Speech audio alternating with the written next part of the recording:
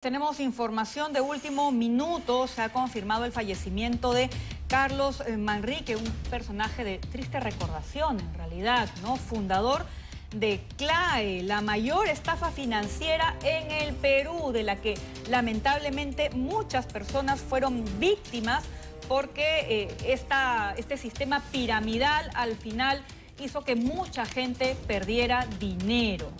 Papá fue una de las víctimas. Duro intentar recuperarse de esto. Y bien lo ha señalado, ¿no? En su momento él eh, vendía lo atractivo de este sistema piramidal por la cantidad de intereses que generaba eh, el dinero que, entre comillas, se invertía, ¿no?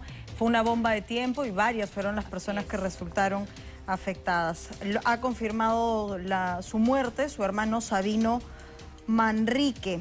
Eh, eh, ocurrió durante esta madrugada. Él había sido internado la mañana del martes 9 en el Hospital Ramón Castilla II de Salud, en el Cercado de Lima, por una afección en los pulmones, ¿no? Una afección que ya había complicado incluso los riñones. Bien, más adelante vamos a darles eh, más detalles y vamos también a recordar qué fue CLAE, lo que significó para muchos peruanos. Pero a esta hora, 8 con 27...